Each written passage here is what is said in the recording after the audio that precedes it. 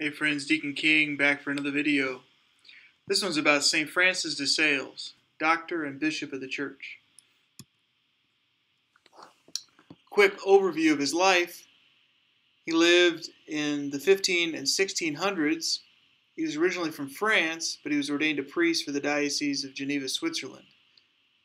Then he eventually became a bishop in Geneva, Switzerland in 1602.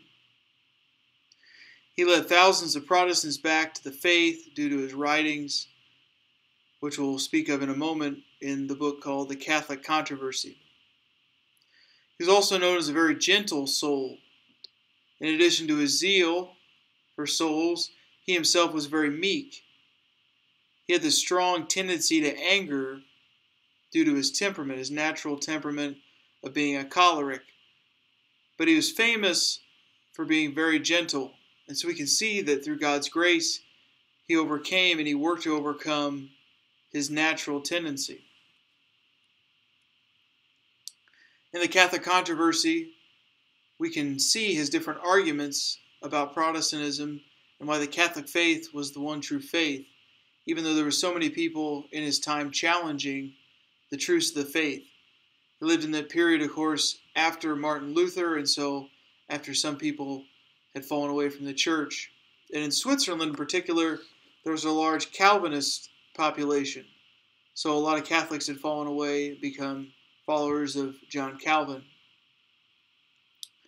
And one of the great arguments from this book is his defense of the office of St. Peter, the Petrine office of the Pope. And he, one of his arguments that he used that really stuck out to me was at the end of St. John's Gospel when Jesus is speaking to St. Peter, and he said, Peter, feed my sheep. He challenges St. Peter with this great command to guide the flock, to feed the whole church. And St. Francis remarks that Jesus spoke in such a way as if St. Peter was a leader, as if he were actually the Pope. And he spoke because he was the Pope, because Jesus wanted him to be the Pope and to be this leader, guiding the flock with this great care, this great authority to serve them in such a way. And so he used Scripture. We can see St. Francis use Scripture in this work to be able to discuss it with the Protestants because we know Protestants believe in sola scriptura. That was Martin Luther's great argument, his great philosophy was you can find everything in the Bible, and the Bible is our only source to religion, our only way to uh, find truth. And so St. Francis argued very well. He knew his audience, and so he used the Bible heavily in this book in his arguments. Introduction to the Devout Life is probably his most popular work. I highly recommend it for people in all stages of spirituality, but especially for those who are beginners. It helps introduce people into not only the spirituality of St. Francis de Sales, but also Catholic spirituality. Because he speaks the sacraments, for instance, he speaks of how to have fruitful participation in the sacraments. With Holy Communion, for instance, he says, not only prepare before you receive the morning of, but also he recommends to prepare the night before. That way, before you go to bed, you're even preparing, considering what great act you will partake in the next day, partake in the Mass, but also to partake in receiving Holy Communion. St. Francis, at the beginning of this work, provides several meditations. These meditations are to help the soul purge purge itself from mortal sin, from venial sin, and to begin the devout life, this life of following Jesus Christ. This book also shows forth the universal call to holiness, this teaching reiterated by the Second Vatican Council, in which people of all stages in life, all states in life, are called to holiness. No matter how old you are, no matter what your job is, your vocation, all people are called to holiness. And so St. Francis helps to foster this in his writings and in his advice. This book, originally written to one of his spiritual daughters, and he, he gave her a bunch of advice, and then she compiled all this advice to make Introduction to the Devout Life.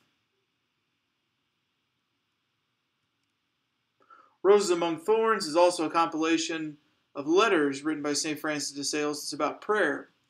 When he was trained to be a priest, he was trained by the Jesuits, and so he used a lot of the language of consolation and desolation. And that's part of this book. It's a that's a, a theme that we can see in this book. He also uses different analogies from nature throughout all of his writings, but in particular this one, something that really sticks out is when he speaks of consolation and desolation in terms of the seasons of the, the year. That he says we're not always going to be in consolation. Prayer is not always going to be easy. It's not always going to be summertime and springtime. But sometimes you have to go through the fall and the winter in our prayer. And prayer can be difficult. And so you go through a period of desolation. Another aspect of Salesian spirituality, the spirituality of St. Francis de Sales, is recognizing the Lord's love and considering his love by considering his passion. In this book, he recommends meditation on the Lord's passion as a daily meditation, something that can be done just for a few moments, a few minutes outside of one's main meditation for the day, be done in the evening after dinner on a walk. Some of his sermons that he preached have also been compiled into four different volumes. And the ones on Lent, in particular, I found to be very powerful. And I would strongly recommend those as a Lenten exercise to read through those and to consider his words on the different gospel stories that the church provides for us in the lectionary during Lent. One in particular is on the healing of St. Peter's mother in law. He speaks of how she wanted to be healed, but she was patient in her in her struggle, in her sickness.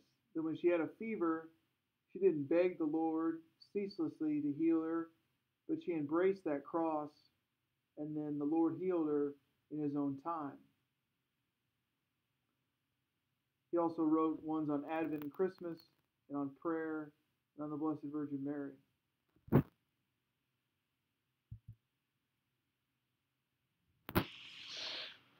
Treatise on the Love God is probably his most profound work, very beautifully written, and he provides deep meditations on the love of God.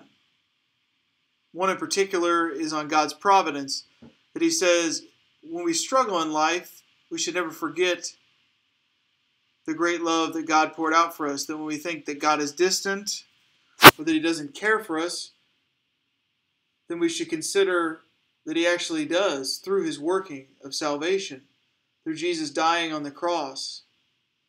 And this work is very long, full of many considerations, but they're very beautifully written, and so they they can really draw you in to these deep considerations that he provides.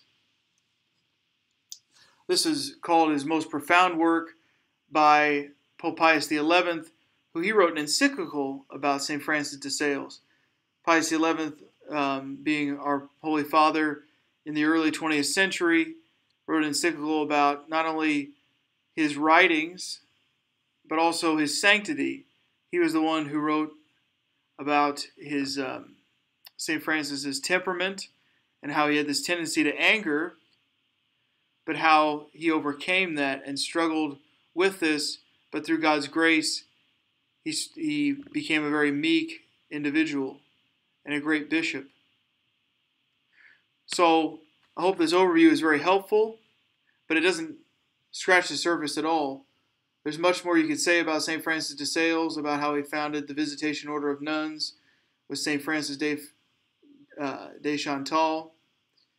But I just wanted to provide this overview of some of his works because he's a very helpful saint for our time. May God bless you all.